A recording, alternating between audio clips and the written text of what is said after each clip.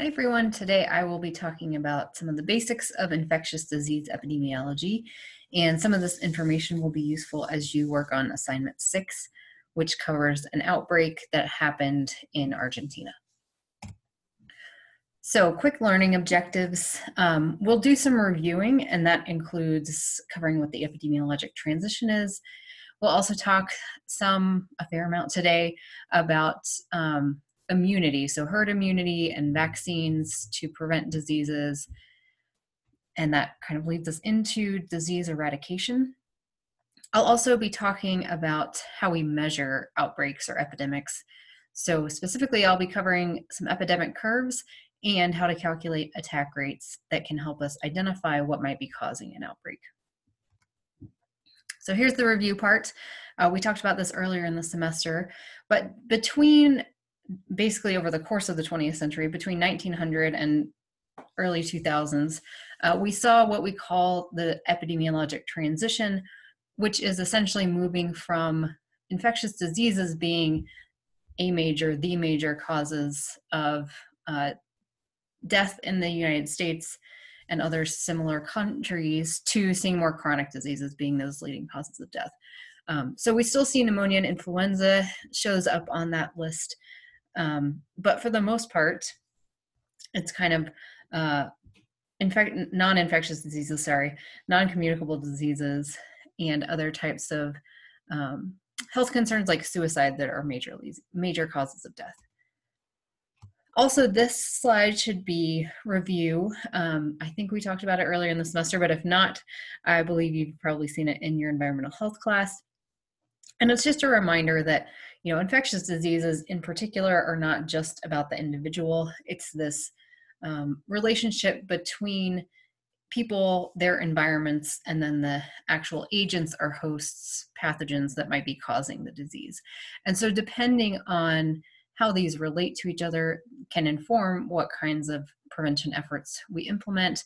Um, so for example if it's something like a mosquito borne disease then we could try to interrupt that uh, pathogen environment arrow there by removing breeding grounds, getting rid of standing water, that sort of thing. Um, or we could, you know, interventions that are aimed at changing our activity patterns, like encouraging us to stay home and social distance. Um, that's a way to to kind of interrupt that host environment interaction. And then, um, if we want to try to educate people and give them tools to protect themselves, things like mosquito netting, come to mind uh, that is trying to interrupt the host and agent arrow there. And we did talk about this earlier in the semester that a lot of the history of epidemiology really is a history of infectious diseases and managing infectious diseases. So John Snow famously broke the pump handle off the Broad Street pump to stop a cholera epidemic before there was really an understanding that cholera was caused by an infectious agent.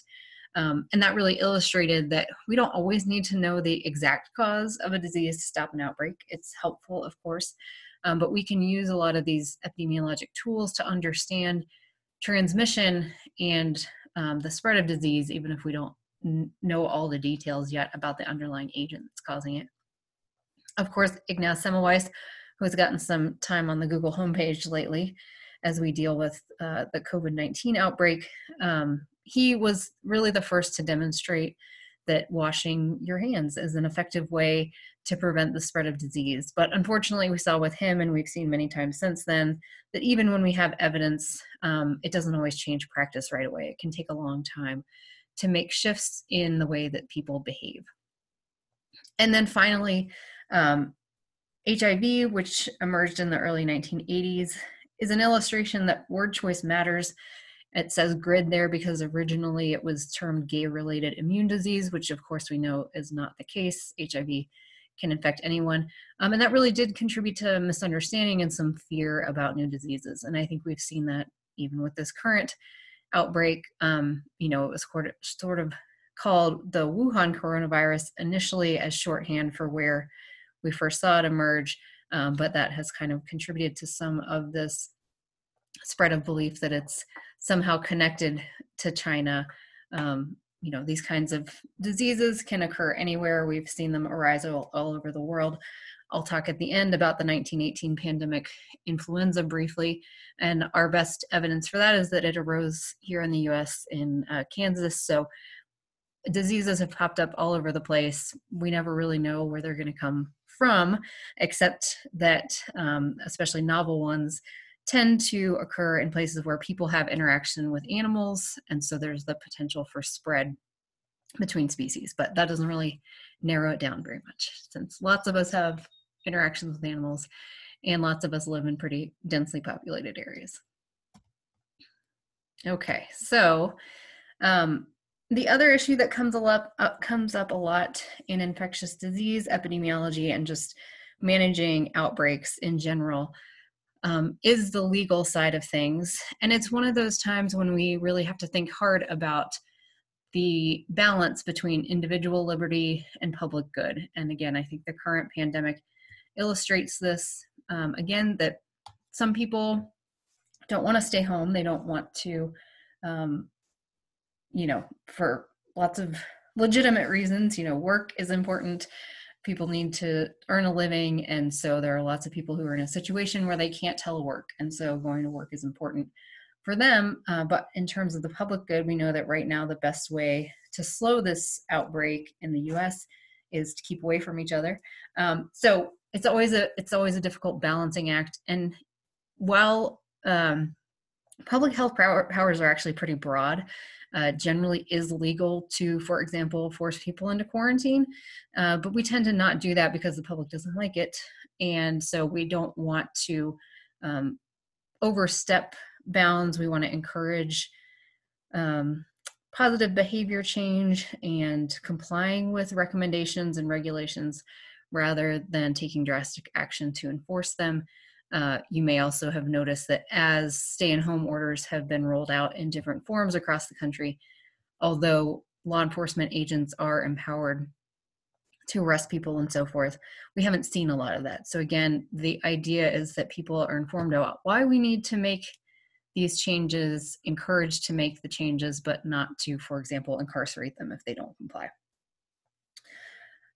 I'm going to come back to herd immunity later, uh, but I will just note that vaccination is, of course, a legal requirement for children to enter school in most states. And over the past oh, 20 years, 30 years probably, uh, we've started to see started to see vaccination coverage drop. And so there have actually been some changes to laws, previously exemption laws in some states were very broad and people could essentially opt out of vaccination for um, non-religious reasons and those have actually been kind of tightened in recent years as we've seen the coverage rates drop and we'll talk later in this lecture about the importance of having high levels of vaccine coverage in the population in order to prevent outbreaks and finally, isolation and quarantine, we've talked about before. Isolation is when we ask people who are sick, people who have symptoms, to stay home, um, to stay away from others.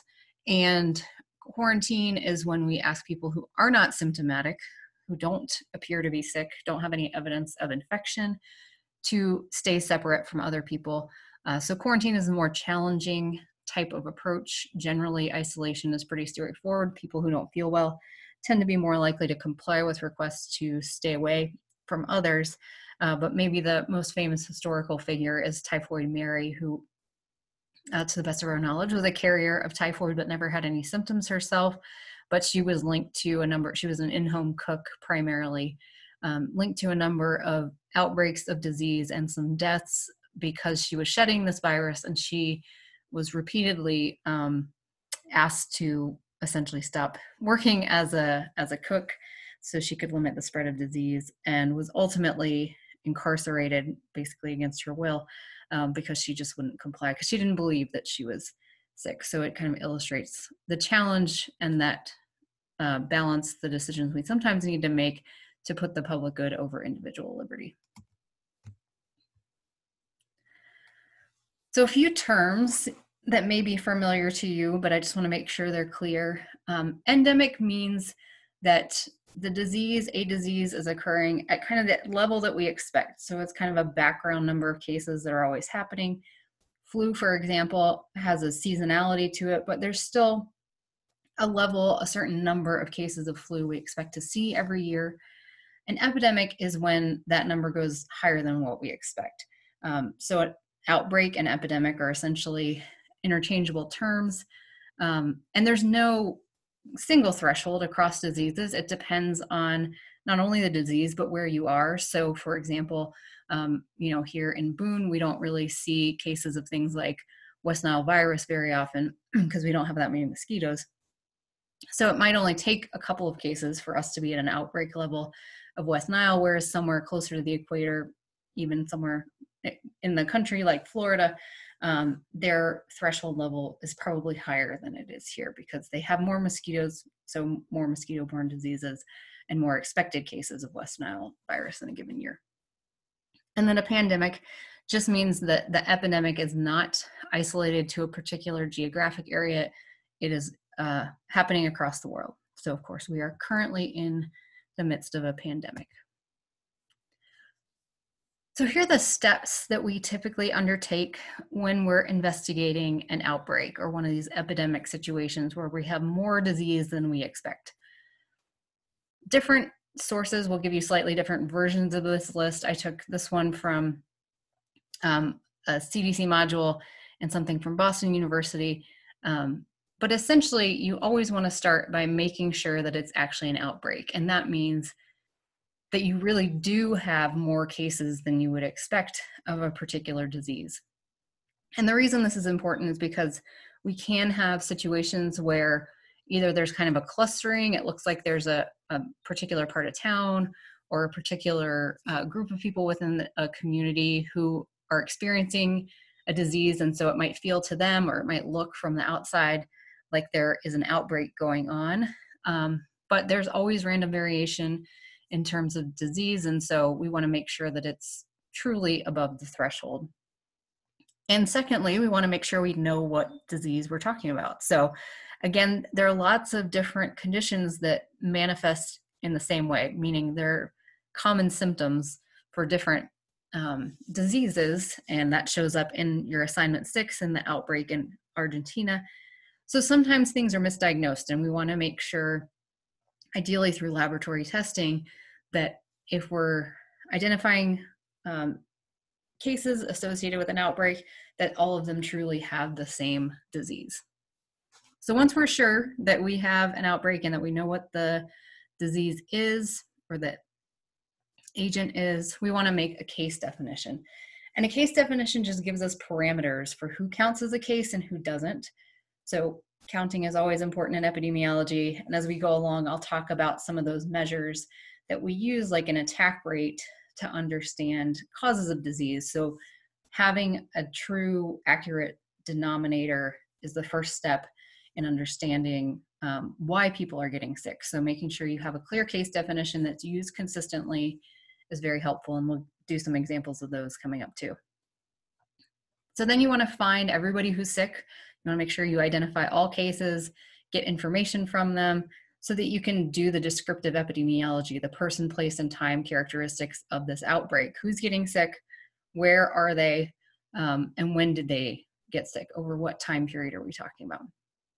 And that can help us develop hypotheses about what caused the outbreak to happen. Um, and then we want to test those hypotheses. So this could be doing any number of different types of studies. Um, often we do case control studies during outbreak situations um, just to compare different exposures, but it's also possible to do cohort studies and other kinds of things. And sometimes we may find that our first hypothesis wasn't uh, accurate, and so we might need to do the develop and test hypotheses sequence a few times. Once we feel like we have a pretty good answer that we're, that we're confident in our results and we know what caused the outbreak, um, then we can start to implement those control and prevention strategies. And finally, we want to make sure we close the loop. So communicate findings with the public, let them know when an outbreak has ended, let them know what the cause was, do some education if needed uh, to prevent future outbreaks, and then also communicate it to the broader scientific community so that other um, jurisdictions can learn from our experience.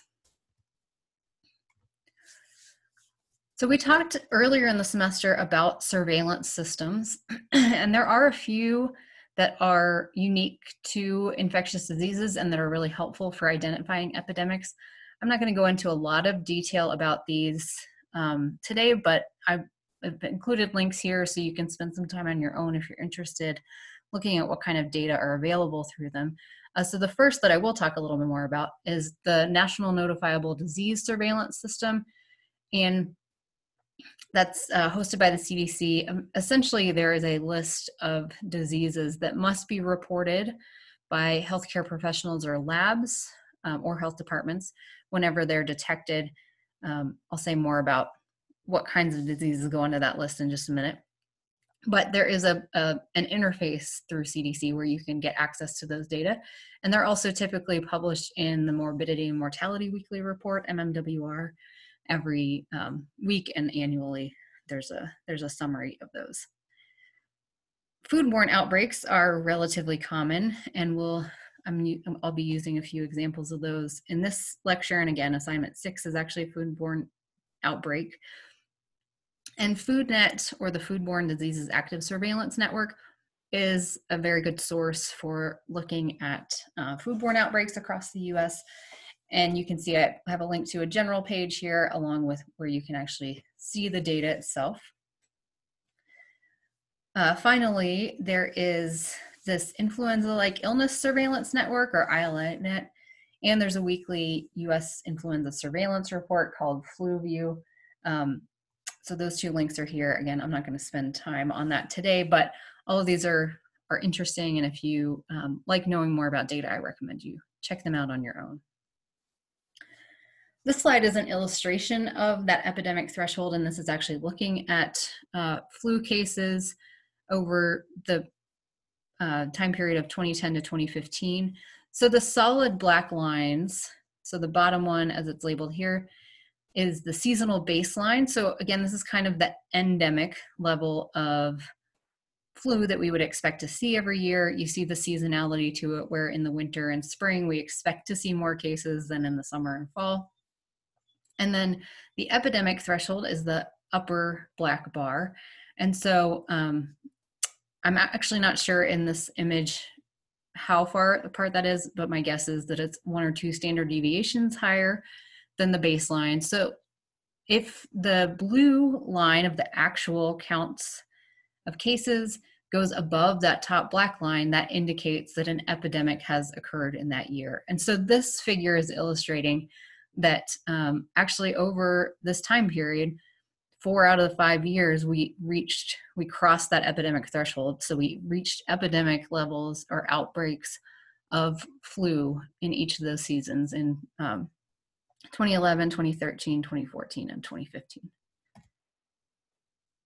so back to the national notifiable disease surveillance system which i said i'd say a little bit more about.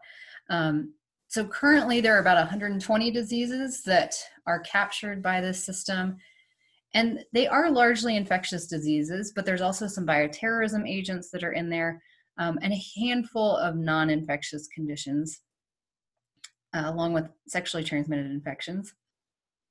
Every year, there's almost 3 million diseases reported through this system. Um, and as I said before, these are the diseases that healthcare providers and labs need to report to their local health department. Um, or sometimes the local health department might do the testing directly.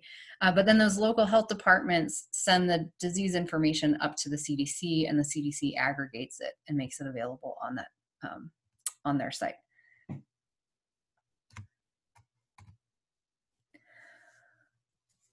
So let's go to uh, talking about what a case definition case definition is for a few minutes. And as I mentioned before, a case definition is the way that we can assure that everyone we're counting in our outbreak really is part of that outbreak. So, as I say here, the purpose of uh, having a case definition is so you can standardize who is included both within your own outbreak and then also over time. So, if you're comparing different outbreaks, you know that the people had consistent symptoms and we define things in the same way. Um, so again, this is helping us get that descriptive epidemiology information, the person, place, and time. And so that's what's going to go into your definition. And usually we also have clinical information as part of the case definition. So that could include symptoms, uh, the, the course of the disease, and tests, or some combination of those things. And so typically we have three different levels within a case definition. We have suspected cases, probable cases, and confirmed cases. So I have a couple examples here. Um, the first one is from a pertussis outbreak. And so you can see that this um, includes, you know, how long the illness lasted, when the onset was. So this is this outbreak was confined to a specific time period from September 2004 to February 2005. Um, and it also focused on people who were Amish and living in this one county in Washington. And so it says a confirmed case means that somebody had to have a lab confirmed PCR test for pertussis or a direct link to a lab confirmed case. And then everything else, any other clinical case, was considered probable. Uh, I wanted to share with you the current case definitions being used for COVID 19, and these are from the WHO's situation report as of uh, yesterday, March 31st. So, for this outbreak, a suspect case is anybody who has the symptoms that hopefully we've all heard about by now fever, respiratory disease, specifically cough and shortness of breath are the most common, and a history of travel to or living in somewhere where there's community transmission of COVID happening in the 14 days leading up to the symptom onset. Or it could be an, another def- another way to be counted as a suspect case is to have those symptoms and have been in contact with a confirmed or probable case in the two weeks before symptom onset. Or the last option is somebody who has severe acute respiratory illness and again, that's fever and at least one sign of respiratory disease that required hospitalization and that any other cause has been ruled out. So those are suspect cases. So that's kind of the lowest threshold for being a potential case. Um, a probable case is somebody who counted who had all those suspect criteria and got tested um, for the virus that causes COVID-19, but that test was inconclusive and by inconclusive they specifically mean that the lab doing the test the lab result came back as inconclusive. Or um, somebody could also be considered probable if they met the suspect criteria and they couldn't get testing. You know maybe it was too late in the disease course or there weren't tests available um, but somebody could be probable if they could not be tested and then, so that's kind of the second level. And then the highest level of evidence for a case is a confirmed case. And so that's somebody who has a lab test that shows infection with the virus that causes COVID 19. So that's SARS CoV 2 infection, whether or not they have signs and symptoms. so that's the working definitions right now for the COVID 19 outbreak. Um, and uh, the WHO does update these periodically. And so their situation report is the place that I recommend you go to get updated information. But the other thing I want to mention is when you look at their situation report, maybe I'll just pull this one up real quick. Um, they include tables, surveillance tables showing the number of cases and deaths and you can see here it's total confirmed cases. So it's only this last definition people who have had a test for the virus that causes COVID 19 um, and it came back positive. So these are only confirmed cases that they're using as their denominator. So when we do things like calculate the case fatality rate, it's only using those confirmed cases. So, if you are ever out in the field in the future and are working on an outbreak, the good news is that the Council of State and Territorial Epidemiologists and CDC have worked together to make um, standard case definitions for all of the diseases on um, the nationally notifiable disease list and a, a large number of others. And so you can just start with those and then adapt it to fit your needs. So you don't have to start from scratch if you ever are working an outbreak and need a case definition. Okay, so we want to make sure that we're collecting good data. So we need a case definition. And then uh, while tables are nice, as you could see briefly from that WHO report, it's very hard to look at a table and really understand what's going on. Um, and certainly doesn't give you the overtime piece of information, which is really helpful for understanding an epidemic and the behavior of it. So, uh, we often calculate an attack rate when we are looking at uh, what might be causing an outbreak. And an attack rate is really just an incidence rate. So, this is something that we've talked about before in class. The denominator is just the people at risk, and the numerator is the number of people who actually become ill. Um, here we go. So it's just the incidence rate, the attack rate is just the incidence rate of the disease that we're looking at among people who have been exposed. So you calculate it by dividing the number of sick people out of the number of exposed people, um, the exposed people being the people at risk. Usually we represent an attack rate as a percentage, so we often multiply that by 100 to calculate the percentage. And then we can use the attack rate, which again is just telling us about how many of the exposed people got sick. Um, we can use the attack rate for the exposed and compare it to the attack rate for the unexposed to come up with a relative risk. We'll do an example. So let's say you work at this hospital, and this example comes from a textbook. Um, and people have have gotten sick at this hospital. So you've noticed a larger than expected number of cases of a particular illness, and um, you want to understand what might have caused people to get sick.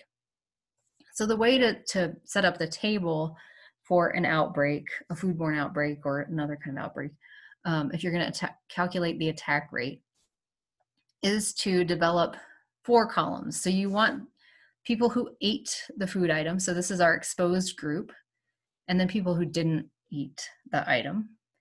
That's our unexposed group. And within each of those broad categories, the exposed and unexposed, you want to know how many people were exposed or were not exposed, and then how many people got sick.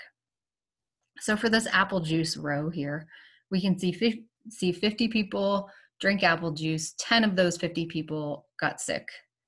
And then 250 people said they didn't have apple juice, and 40 of those 250 people got sick. So on this next slide here, I show you how to calculate those attack rates. So it, again, it's just the ill, the number of people who are sick out of the people who were exposed.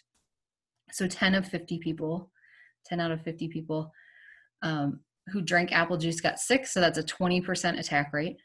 And then 40 out of the 250 people who didn't drink apple juice got sick. So it's a 16% attack rate there.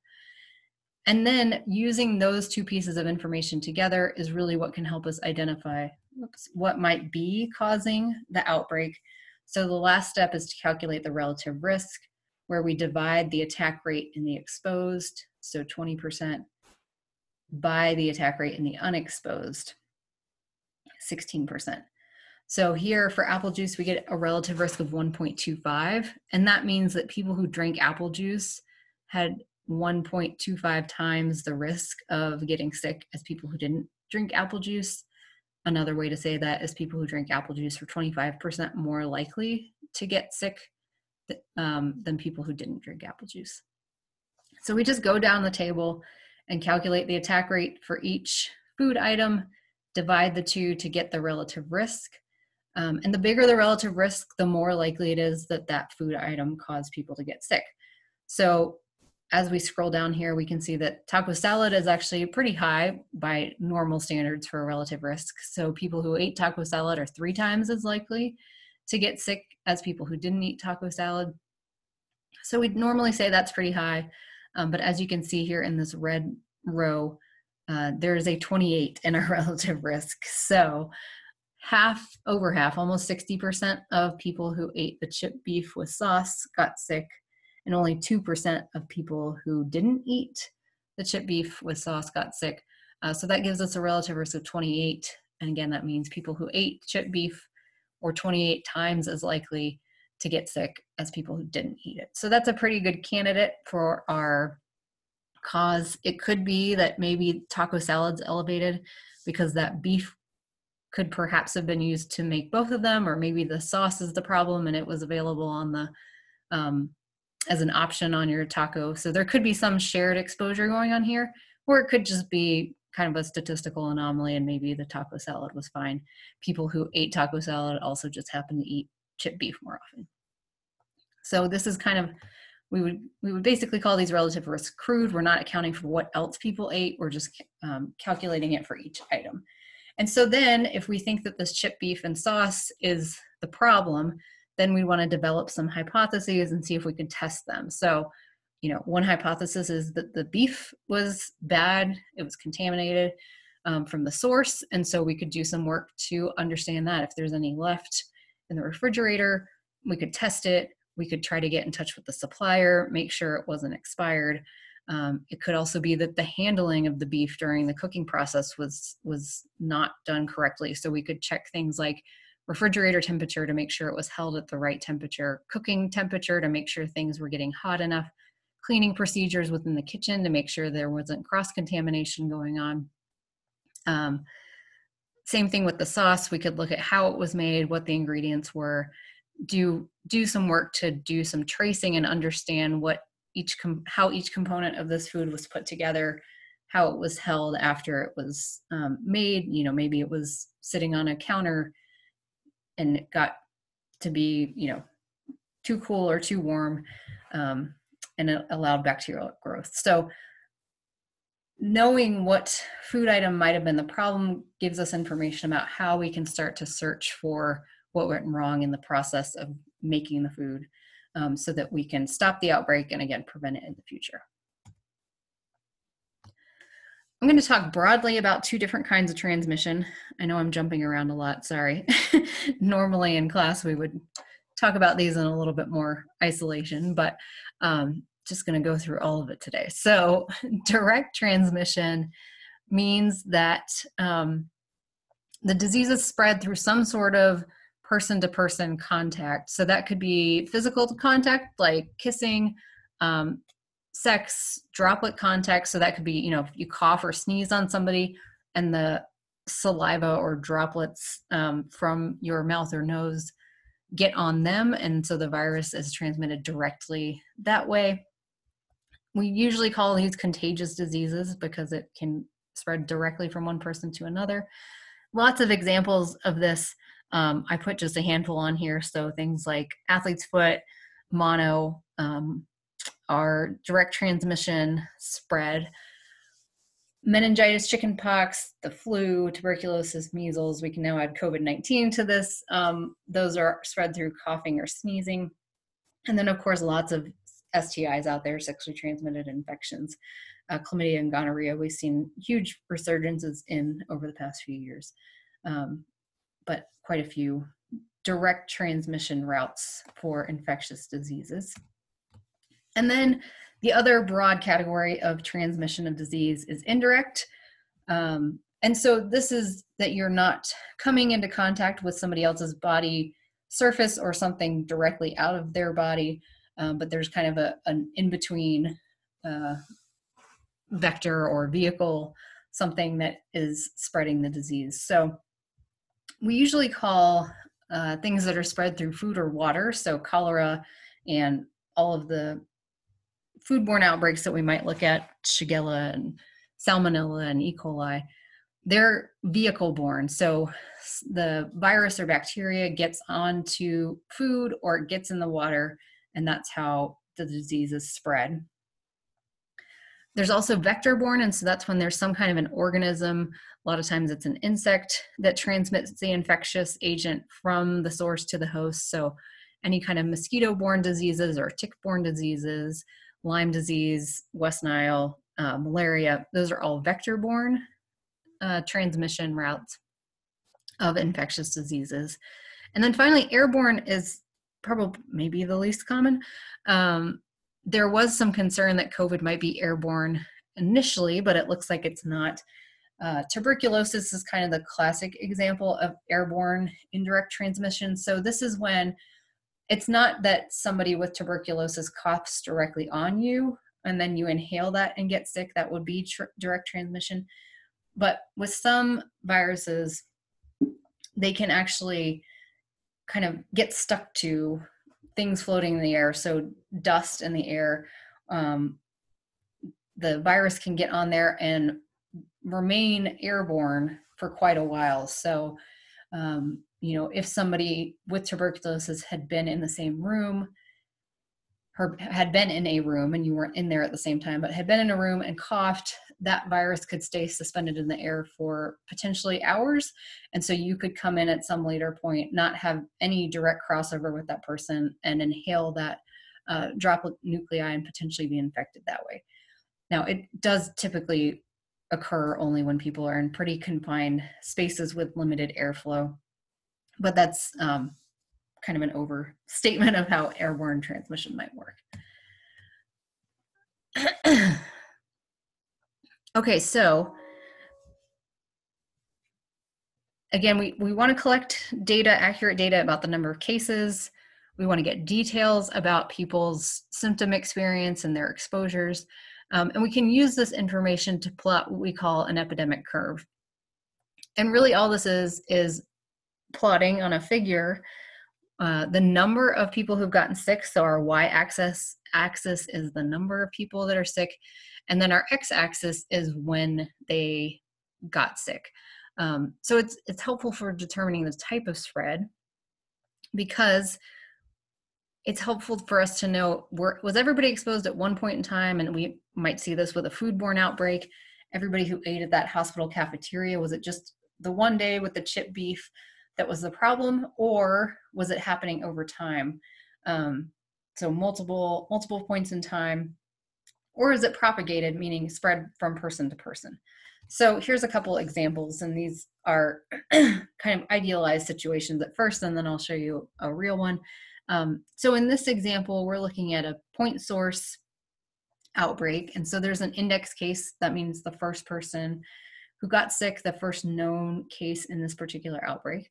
And then what we see is that the next case that happens happens at the minimum incubation period um, in time away from that index case. So an incubation period is how long it takes between the time you're exposed until you start showing symptoms because with all of these, whether it's a virus or a bacteria, typically there needs to be some reproduction within your system in order for it to reach a level where it actually causes you problems.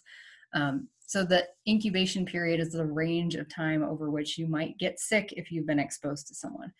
And so with COVID, for example, it looks like it's um, up to 14 days. So maybe two to 14 days is the incubation period. It looks like the average might be around five days. Um, but all that is useful information for looking at epidemic curves to understand how are things being spread. So if this were just a single point source outbreak and nobody else got, nobody else spread it person to person, um, we would expect to see that the, the second case occurs at the minimum incubation period time point there would be a peak at the average incubation period right here around um, where this purple arrow is pointing. And then it would start to decline and end at the maximum incubation period. Because if it was only this person making everybody else sick, we'd expect the last case to occur at the maximum incubation period time point. So that clearly doesn't happen in this figure, which means that, as it says in the title, there's a limited spread. So it's a point source. Most of these cases, all these cases here, are probably from this index case, but then we see another peak over here, which means some of those people then spread it to others because there's no way that this index case person was the cause of these cases over here at the end. So that, again, that gives us useful information um, about how we how the disease is spreading, how we might stop the epidemic. Here's another example um, of a propagated spread, and this one is a, a more uh, continuous propagation. So we have an index case. We see one peak here at the average incubation period. So this person probably got these people sick, but then these people got these people sick, and so on. And then you start to see that these peaks start to merge and then we get a really big epidemic curve here. And so this is more like what we're seeing right now with COVID. So this is the figure one from the Wu and McGoogan article that you read last week um, that shows the in the kind of blue color is the date of onset of symptoms for people who ultimately became confirmed cases. You can see here in the legend that says confirmed cases only are included in this figure consistent with what WHO is reporting. And then the yellow is the date of diagnosis. So the curves essentially look the same, regardless of whether you're looking at date of onset or date of diagnosis in terms of their shape. Um, but the time point is, of course, shifted. So it takes a couple days to get the test result back, and people don't always go on the, you know, the moment that their symptoms start to get tested. So we expect this time lag between when people started feeling sick and then when the test result came back and confirmed that they had COVID 19. But this figure looks a lot like this last one here, where we see initially there are just a few cases and a couple of peaks, and then things really start to spread rapidly, and we get this large epidemic peak. Um, you can see that the scale here is nearly 3,000 cases a day um, at the peak of the outbreak in China. If we're looking at the the date of onset details, and it goes closer to 4,000 when we look at the um, diagnosis date curve. So again, this is just an example. This is an epidemic curve, um, and it's useful for us to understand how things are spreading. And then this is the global spread. So that that article is just looking at the experience in China, which is basically reflected down here. This gold kind of color is the Western Pacific region of the world. Um, and so that's this is sort of what's reflected in this figure here. This goes through February 11th. Um, so right about here, you see we, we got another surge and that's partly because there, there may have been a surge in China, but this includes multiple other countries as well. And so uh, South Korea and Singapore started to experience some cases uh, around that time too. And you can see that in the Western Pacific region, happily their curve is going down. So um, they seem to be through the worst of it. But you can see here the pink color is Europe. And so uh, they perhaps are through their curve as well. Uh, certainly, some countries within Europe have not reached their peak, but overall, the region seems to be headed towards a downward trend. Um, purple is the Eastern Mediterranean. It's a little bit hard to tell since now the the size of the bars below it are different. Looks like it's kind of holding steady. Um, and then the American region, which includes the U.S., is um, you know clearly still on the uptick here. And Africa has seen very few cases so far, but you know if we look at the rest, the experience of the rest of the world, we would anticipate that their numbers will start to climb in the coming weeks. So, one thing you probably have heard a fair amount about if you've been keeping up with the COVID news is herd immunity. And so, I want to make sure that you're clear on what that is. Um, essentially, it's just the idea that if everyone or if large segments of a population are naive to a disease or um, unprotected against it, so they have no immunity to a disease, then that disease is going to spread pretty rapidly. And that's what this first figure is showing. So the blue figures represent people who are not immunized but are healthy. Yellow represents people who are immunized and healthy, and then red is people who are sick. So they don't have immunity to the disease, they have symptoms, and they're contagious.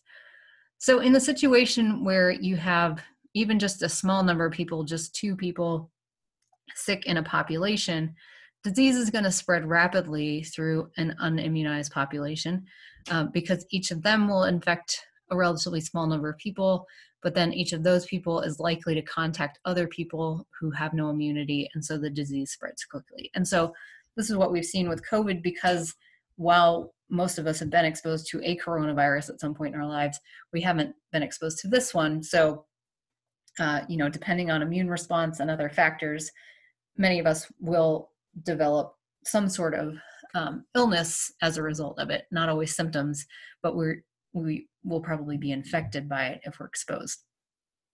And so, this second picture um, perhaps represents kind of the the situation that we're in now. So there's a small number of people who have natural or acquired um, immunity to a disease, and there's still just two people who become sick. Um, so we still see a pretty dramatic spread through the population because, again, a lot of the sick people are interacting with each other. There's not very many people who are immune, and so disease spreads quickly. But the last picture is what we want with herd immunity, and this is this is the illustration of herd immunity itself.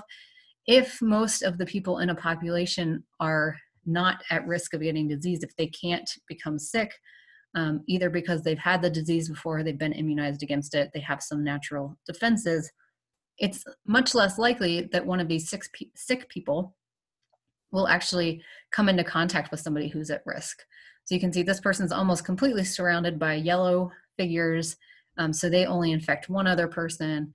And similarly, down here at the bottom, uh, this person is surrounded by yellow figures. So the disease is not able to spread if there aren't hosts nearby um, to, to help the disease move through the population. So that's what we want. That's why we give people vaccines, is because we want to have a protected population so that in those rare instances where someone does get a, an infectious disease, that they're less likely to come into contact with somebody who's also at risk of getting it. And so we keep the likelihood of epidemics down.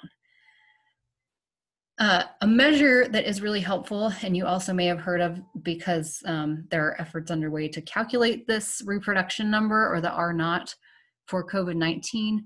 Um, that represents the number of people that one infected person could spread disease to, assuming this kind of worst case scenario up here. So in a in a population of completely unprotected um, people, so people who don't have any immunity, how many people can one sick person spread the disease to? That's the reproductive number uh, that R naught. And so you can see in this table here, um, it's ordered by the reproduction number. So for mumps, it's actually really low. We've had a couple cases of mumps on our campus in the last few years.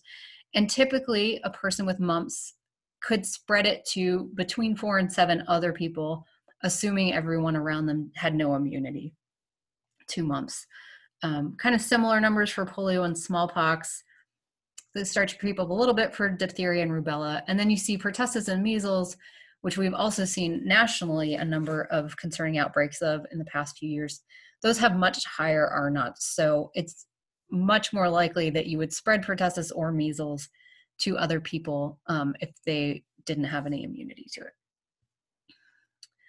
And this R naught feeds into this threshold percentage, which is the other figure in this table. And the threshold percentage tells us what percent of a population needs to be immune, to be protected from infection in order to prevent an outbreak from happening. And so as you look across these numbers, they tend to be higher for diseases that have higher R naughts. So usually if an agent is more infectious, that means we need more community protection to prevent an outbreak. But that threshold percentage depends on some other things like if there's a vaccine, how effective it is, how long immunity lasts, what kind of transmission routes are possible for the disease. So it's not a perfect correlation, but um, generally that's that's what we see. And so far, I would say that I've seen reproduction number estimates um, that seem to be calculated based on what's actually happening in the community, which again, um, well, I think they're underestimating right now because I've seen like 2.5, and that seems pretty low um, for a true reproduction number, especially given that we know that this has been moving pretty quickly through populations. Um, so we'll see what it turns out to be. I think we'll have to wait a while for all the data to be in. Um, but the threshold percentages, as you can see, generally at least 80%, 85% we often use as kind of a guide, um, just a blanket. If we can vaccinate, immunize 85% of a population, then we usually have a pretty good chance at preventing outbreaks. So that's why we need to keep vaccination numbers high, and that's why we get concerned from a public health perspective when we start to see them dropping into the 60s and 70s um, and even lower in some particular um, subpopulations because it means that if somebody in that in that population gets one of these diseases, it's much more likely that it's going to spread and we're going to have an outbreak situation. So, one thing that we often talk and think about in public health is eradication. So, of course, it would be easier if these diseases were not around. We wouldn't have to worry about people getting vaccinated against them. Um, but to date, smallpox is the only disease that we have successfully eradicated. Uh, polio, we've gotten very close, but it's it's hard to kind of get over uh, the hump here at the end, partly because of the way that it's spread. Um, so people can shed poliovirus, um, and so there's a fecal oral transmission route. And uh, there are two different types of vaccines. So a lot of the vaccines that we use, especially in the states, um, are like attenuated vaccines or not even um, just pieces of, of viruses for example. So instead of giving people something that could actually make them sick um, there's some surface protein or a piece of dna that our immune system can then learn to recognize but that cannot itself make us sick. So this is why you know it's impossible to get the flu from the flu vaccine because there is not a whole flu virus um, in there. It's just components of it to train our immune system to recognize particular surface proteins on the influenza virus. Um, so that is partially true with polio. There are different versions of the polio vaccine. One is a live virus, which means you actually give people a small amount of polio. And so um, that is the one that's concerning because people can shed it and infect others. There's also been a vaccine derived version of polio that has started to circulate. Um, and so now there's, I believe, at least in some countries, there are more cases of that than of wild polio virus. Um, so kind of negative unintended consequences, but also something that sort of needed to happen as part of this process not needed to happen but the the live polio virus needs to be given in some situations because it's more uh, so easier to transport more kind of more shelf stable i guess than the inactivated one. And also, the inactivated one has to be given by shot, and the live one can be a drop on um, someone's tongue. So it's much easier to administer. You don't need trained healthcare professionals to do live poliovirus um, vaccination. And so that's why we continue to use it, especially in more rural areas of the world. So efforts still underway to eradicate polio, but lots of challenges that have cropped up in addition to those practical ones, um, conflict and um, migration, those sorts of things also make it difficult to keep up with with uh, vaccine efforts, vaccination efforts in different populations. Guinea worm is an interesting story. Um, if you click on these links, you'll see both the life cycle and a video about the Carter Center, which was uh, former President Jimmy Carter's is former President Jimmy Carter's foundation that focuses on guinea worm eradication. Uh, so I encourage you to watch those, but I won't play them right now. Um, and I just want to mention flu again because uh, it is one of those unique ones that I think we will not be able to eradicate potentially ever, but not anytime soon for sure, because there are multiple reservoirs, so several different animal species that can have um, influenza infections. And the last few flu pandemics have resulted from it crossing from those animals to us and us not having immunity to the, the virus that resulted. It mutates pretty quickly. Um, and so that makes it a challenge to keep up with. That's why every year, even if you get the flu vaccine, you may still get flu because there's multiple strains circulating and it mutates quickly enough that um, we can't really keep up with it. And this is a picture from the 1918 flu pandemic, in which 50 million people are estimated to have died. Uh, this was happening during World War One, and and about 16 million people died during that war. So it was a really devastating uh, pandemic, and in particular, it was more likely to kill young adults than other age groups, which is certainly unusual, something different different than what we see with the current COVID 19 um, as well. And as a result of the 1918 pan flu, uh, the life expectancy in the US actually declined by 12 years since so many young people died. A few last slides and comments um, just to come back to the vaccine preventable diseases.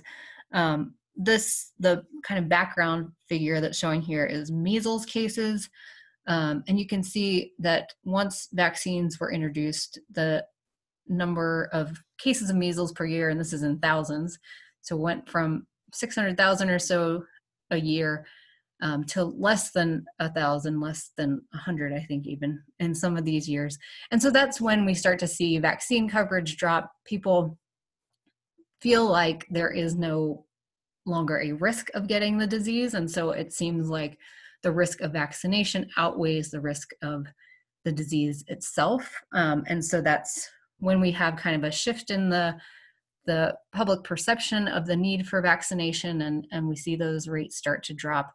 Uh, but as a result, we've started to see more cases of measles, um, same thing for pertussis. So after these dramatic drops following the introduction of vaccine our success actually is sort of the the culprit here that leads people to again feel like perhaps risks of vaccination outweigh risks of disease and so vaccine rates drop which means the disease starts to have a resurgence so here are just the last a few last resources um, if you want to read more MMWR is a great uh, source of information about the diseases that are occurring. CDC has a number of case studies on its website that's linked here, the Epi case studies link. Um, and then there's actually a pretty fun game called Sol- Solve the Outbreak that CDC developed. So if you want to go through the steps of an outbreak investigation um, in an interactive way, I recommend taking a look at that. So again, assignment six covers an outbreak in Argentina. The materials are posted there, and you might want to refer back to that slide that showed the steps in an outbreak investigation as you're working through it.